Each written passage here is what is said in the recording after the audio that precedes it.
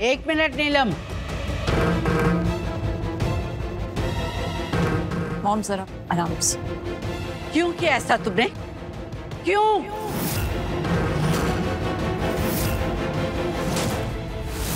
और ऐसा करना तो दूर।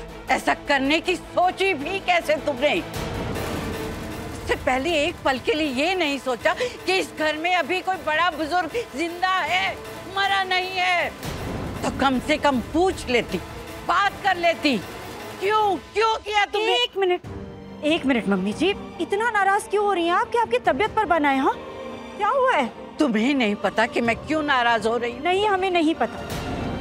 हमें नहीं पता क्या हुआ है हमें नहीं समझ में आ रहा है ऐसा क्या हो गया जो आप इतना नाराज़ हो रही हैं। तुम्हारी समझ इतनी हल्की नहीं है नीलम कि तुम्हें पता ना लगे कि मैं नाराज़ क्यों हो रही हूँ। क्या उम्र थी तुम्हारी जब जब तुम इस घर में बहू बनकर आई थी। माँ बनी थी मैं तुम्हारी। एक नई परवरिश की थी मैंने तुम्हारी। अपने घर के संस्कार दिए थे तुम्हें। क्या इस दिन के लिए? इतनी बड़ी बड़ी बातें आप किस लिए कर रही हैं? कम से कम बताइए तो सही हुआ क्या है? मैं लक्ष्मी की बात कर रही। हूँ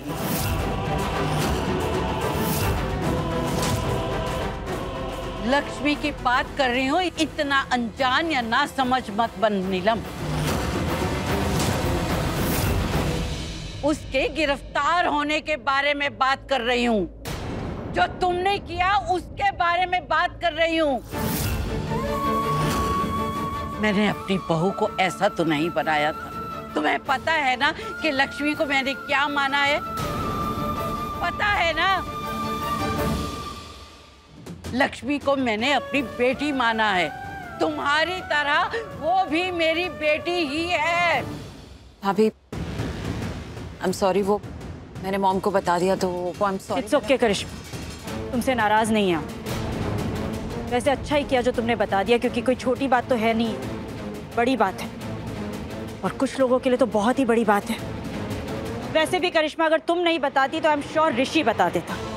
और अगर ऋषि भी नहीं बताता तो ये कोई छुपने वाली बात तो है नहीं। मम्मी जी को पता चल ही जाता। दुख तो मुझे इस बात का है कि तुम्हें एहसास था। कि मुझे पता चल जाएगा, लेकिन फिर भी तुमने ये किया।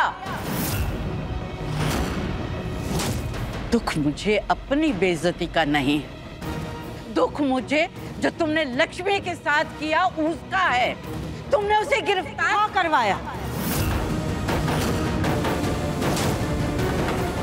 हमने लक्ष्मी को गिरफ़्तार करवाया, और दुख हमें इस बात का है कि ये काम हमने पहले क्यों नहीं किया।